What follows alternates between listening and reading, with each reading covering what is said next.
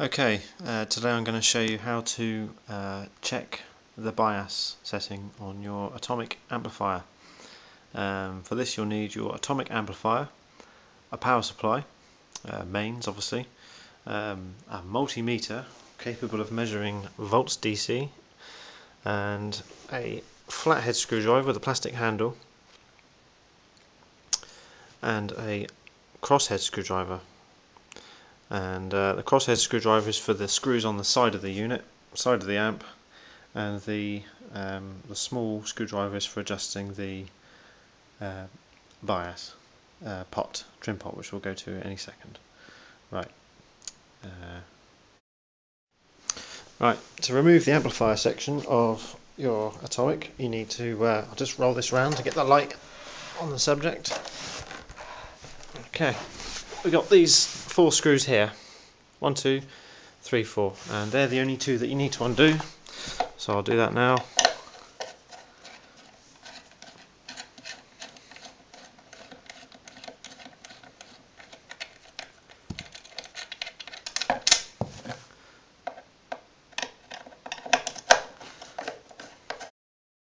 Right, once the screws are out, the next step is to pull out the amplifier, this section, by the bottom handle and the top handle. Um, the amplifier is quite heavy because it's got several transformers inside it. So it has a tendency to go, uh, lean, tendency for the top to stay in. So you need to pull on the top and pull on the bottom equally to keep it parallel as it comes out. And I'll do that now. You may have to jig through it. It will only stick on the, the uh, bolt that's at the bottom, which is holding one of the transformers in and the uh, threads section for the screws which um, catch on the inside of the, the leather covering. Okay, and it's out. And the wire for the speaker, or speakers, is at its full extent here. So it might unplug, so just make sure that it doesn't unplug. And uh, you can leave the amp semi semi in like that. And uh, for better light I'm going to try and uh, turn the amplifier cab cabinet on its side uh, like this.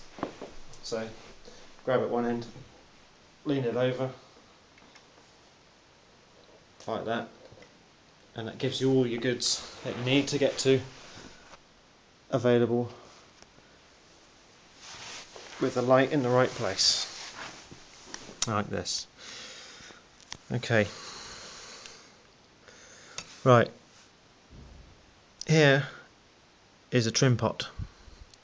And the idea is you rotate it to set the voltage across this resistor, which is the larger of the two, this one here. For information's sake, it's R18 and it's a 10 ohm resistor.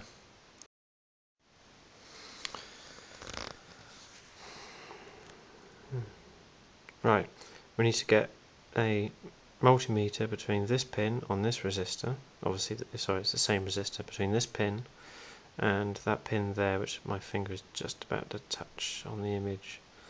Um, need to get between there, you've got to be careful of this metal back here, you don't want to touch anything else other than what you're trying to read. So uh, I, when I did this first, I, I practiced a few times to make sure I wasn't going to slip off and don't apply too much pressure to the solder contact because you slip, you keep going, you know. Um, so that's what I'm going to do now. I'm going to place the camera in a position where you can look down upon what I'm doing. And um, yeah, that'll be on the next scene. Okay, just to recap, you want to make sure you can get on that terminal uh, of that resistor, which is um, just at the bottom and the top, and you want to be able to measure like that and of course there's reading of zero at the moment because we haven't turned it on and we're going to do that. Now we need to turn it on for a good 15 minutes to make sure it's all nice warmed up.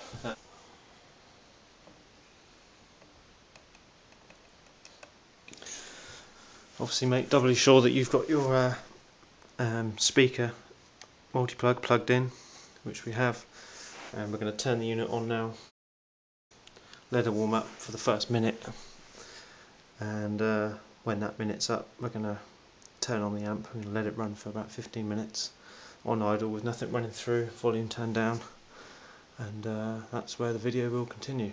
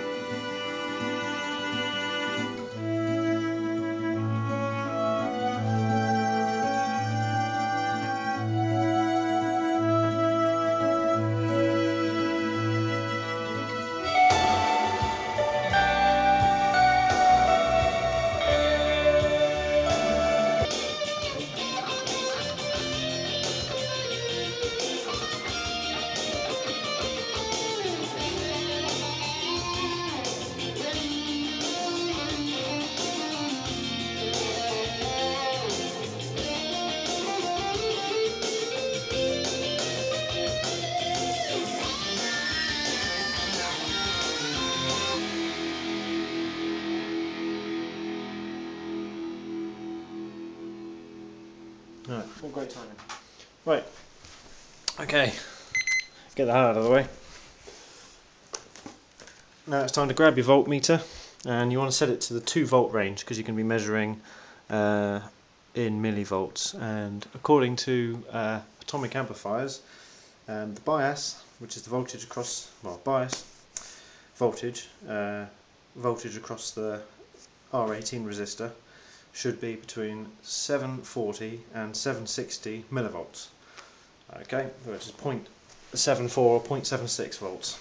Uh, so I'm just going to take a measurement first, and it's a bit difficult to measure and adjust at the same time. So I'm going to measure, then adjust. Okay, so I'm just going to uh, any probe, any order. Bottom one first, just lightly rest on the uh, terminal there. And the uh, answer at the moment is 0.68 so I've got a long way to go. Um, so I'm going to grab my screwdriver and I'm going to just turn it a few degrees. Not much at all. Sort of five minutes if you imagine it as a clock. And check again. So it's 728 738 a bit further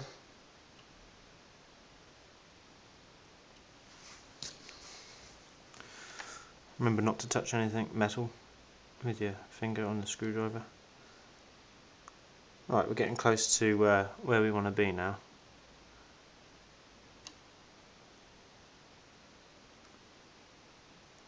That's 748. I'm going to go for the middle and go for 750. So I need to turn it a little bit further.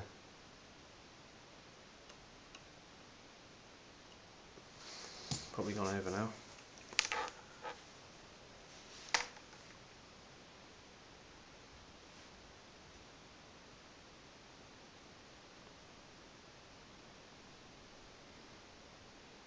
Yeah, a little bit too high, so I need to turn it back.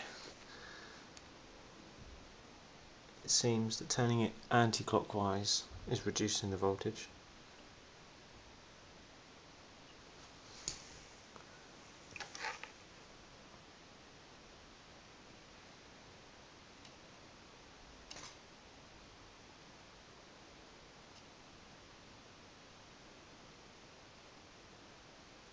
75 well I'm not going to do it any further than that.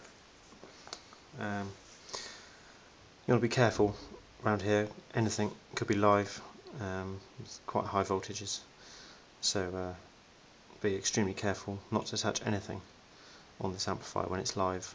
And even when it's switched off the capacitors will still hold a charge. And if you look at the capacitor they're rated at 250 volts some of them so uh, uh, touching anything in this amplifier is known to kill people apparently. So um, I'd be very careful and uh, I will not be held responsible if you uh, blow up your amplifier or blow yourself up or blow or blow someone else up. Um, if you want to save yourself a bit of cash and risk your life slightly, then uh, check your own bias in the way that I've done it. Um, if not, if you don't feel comfortable, just you know pay however much it is to get someone else to check it. Um, so there we are, 750. So that's what we've got it set at.